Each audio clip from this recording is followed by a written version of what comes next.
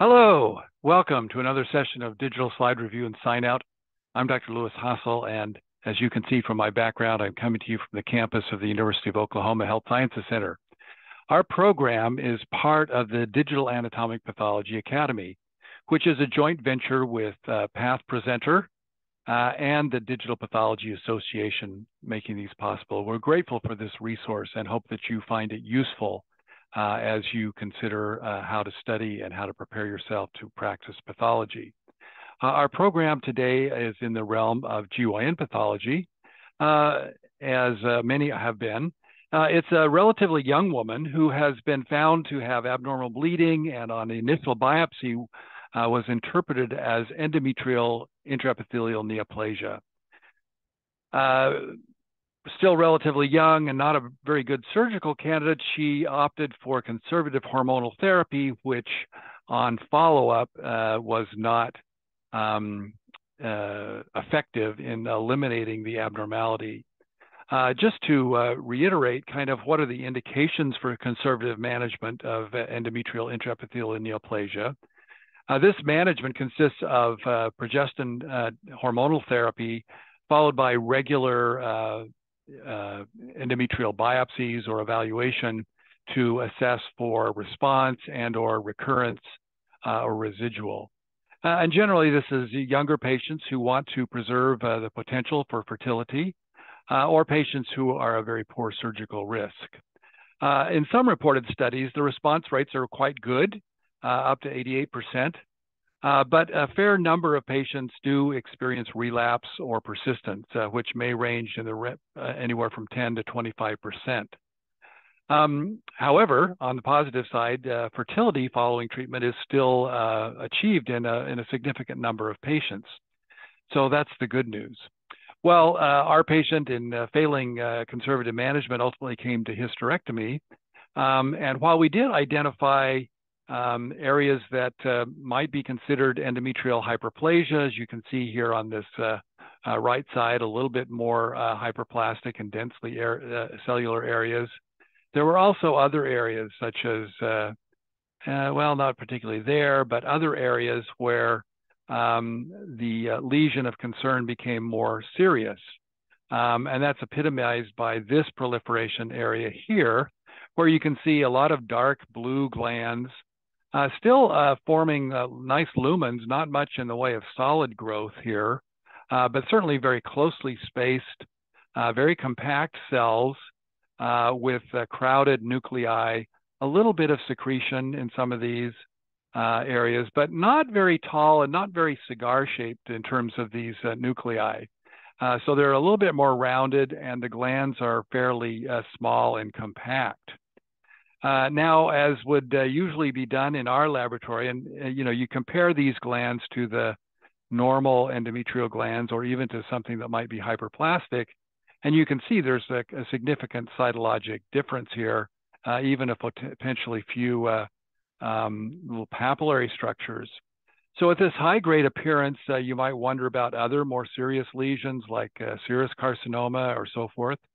Well, we routinely do evaluations with uh, hormone receptors, ER and PR, and um, that's uh, helpful in defining the uh, molecular subtypes that we uh, want to deal with, as well as uh, we also do P53 and MMR uh, mismatch repair protein evaluation. And this patient was P53 wild type in these areas and MMR proficient, but the surprise came when these cells were uniformly hormone receptor negative. Um, and so we did further staining and discovered that this patient was uh, positive with GATA3, uh, positive with PAX8, um, and had areas of TTF1 positivity as well. And so that led us to the diagnosis of uh, mesonephric-like adenocarcinoma. these are tumors that have a very distinct immunoprofile um, they're PAX8 positive, as I mentioned, TTF1 positive in most cases, and GATA3 positive. Uh, so this is an unusual phenotype uh, that would not be expected routinely in endometrial carcinomas. Uh, and especially uh, they are negative for hormone receptors. Um, These oftentimes, at least initially, are low-grade appearing, low-grade appearing, I emphasize that, uh, and small glandular or tubular patterns. But uh, they can also have a variety of other uh, appearances, including uh, sarcomatoid features uh, or high-grade nuclear features that mimic both low-grade and sometimes high-grade serous ovarian carcinomas, even borderline tumors, and uh, with the sarcomatous areas, um, mixed Mullerian tumor or carcinosarcoma. Uh, the tumors have been reported in the endometrium, but also in adnexal or ovarian locations, as well as potentially in the cervix, uh, paralleling uh, the sites where we see, uh, you know, Mullerian, or excuse me, uh, mesonephric remnants. Um, KRAS and ARID1A mutations are common, those, those also can be seen in other endometrial tumors. But some of the other abnormalities that we expect to see in other endometrial carcinomas, such as uh, PIK3CA1, is, are not seen um, in these tumors. Uh, and likewise, uh, mismatch repair defects are also not seen. Now, these tend to uh, uh have uh, aggressive behavior, and so they're not tumors to be ignored, nor should they be missed. Um, but uh, they can easily be mistaken for other tumors, as I've indicated. And the clues here, you know, may be that if you have a, a tumor that is seeming to fall in the no specific uh, molecular subtype category, but is presenting at an advanced stage or is high, uh, appears to be uh, following a, an adverse behavior, that you should consider these kind of tumors. Because in fact, these may account for a significant proportion of those tumors in the no specific molecular subtype category uh, with aggressive behavior. So uh, just to review, the uh, mesonephric ducts uh, uh, arise along with the Mullerian uh, precursor ducts, and the remnants end up along this lateral border of the uterus, cervix, and running through the adnexal structures. So we know this has a, a an embryologic um, origin. In terms of immunohistochemical features, I've mentioned some of these, but this uh, is a nice study uh, review ar uh, article that uh, took the data from a, a, number of studies to try to compile uh, the number of patients uh, with positive versus negative staining for certain common markers. And as you'll see that virtually all of the cases were P53 negative, um, CD10, which had been previously used as a marker for uh, mesonephric uh, differentiation, very commonly positive. Um, and as we've indicated, the hormone receptor is negative. Um, it's not common for us in most endometrial tumors to, or even you know ovarian tumors otherwise to do TTF1 and GATA3 in terms of routine screening.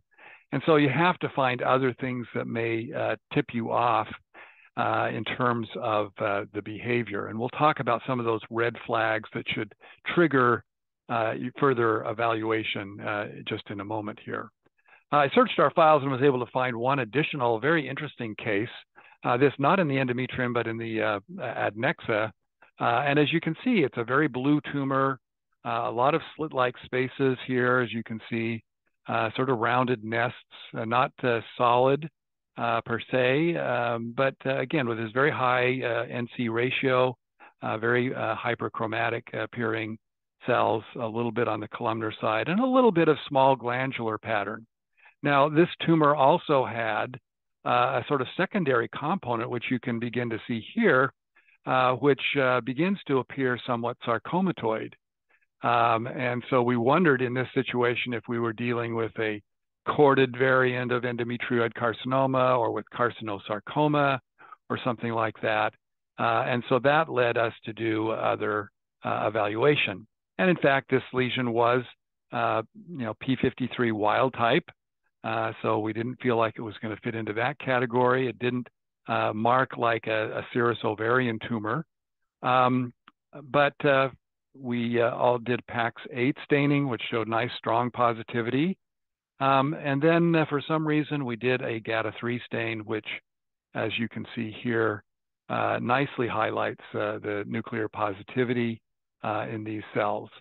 So not an overwhelming uh, uh, type of positivity, but a, a nice, strong response. Now, in addition, because we were thinking serous carcinoma, we also did a WT1 stain. And as you can see, it's uniformly negative with this marker.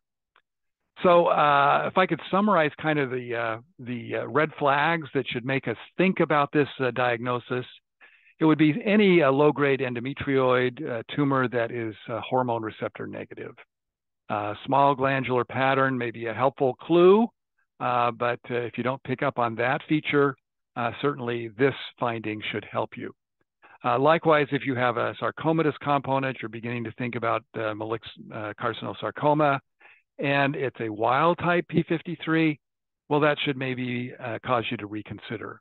And likewise, any serous appearing tumor that is WT1 negative in an adnexal site or something like that, uh, then I think I would again look a little further, think a little bit more uh, seriously about this diagnosis. Well, I hope those clues are helpful to you. Our final diagnosis on this uh, particular case, uh, mesonephric-like adenocarcinoma of the endometrium, um, is, uh, I think, well supported by our immunohistochemical and other findings in this case, uh, and uh, should hopefully be a clue uh, and helpful to you in evaluating these kinds of cases.